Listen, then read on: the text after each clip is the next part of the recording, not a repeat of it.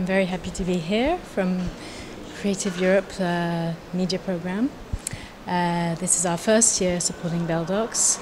It was selected because we found it a very interesting project uh, for the region and we want to support documentary industry and um, I'm excited to learn more. I mean, the, it's the morning, so I'll, I'll see you after the two days.